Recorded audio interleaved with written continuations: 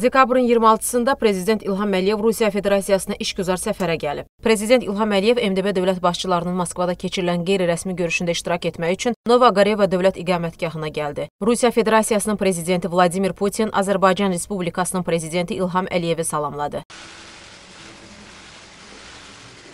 Sonra MDB dövlət başçıları birgə foto çəkdirdilər.